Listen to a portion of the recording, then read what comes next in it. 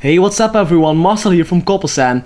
Recently Maplestory Europe released a red patch, as we all know of course, and with it came the red shop.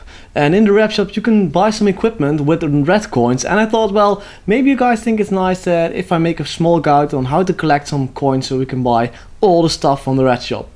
And it will require some determination, but in the end it's all worth it, trust me, because look at this set effect. Well, actually the first six pieces of equipment will cost a lot of red coins and I would get these in the end if I were you because all the equipment is tradable within the account and you cannot trade it once equipped. And the normal equipment just costs 60 red coins. The weapon costs 70 red coins and you can farm up to 20 red coins a character each day.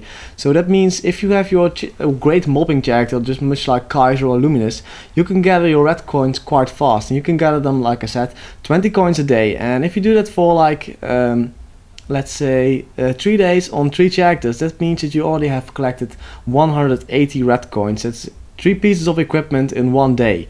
Because that way you can easily gather your equipment and get your stat effect as quick as possible. Now I know it's not ideal to just gather red coins like that, but this is the only option we have at the moment. So it's better if you have a good mobbing account, much like Luminous, to get yourself some red coins. As you can see, you get them from the red boxes that the monsters drop. The monsters around your level drop these boxes, and they also drop like love letters and different kind of potions that raise different stats, so it's kind of nice to have them. Not to mention the health potions and mana potions, so they're not that bad to get. But yeah, it requires some time. I got like um, every 15 boxes I got 2 coins. So yeah, so gather around 100 boxes each account and really it doesn't really, you can't really harm you. You collected them quite fast. I mean as you can see the monsters drop them quite often. And the fame you get isn't that bad either.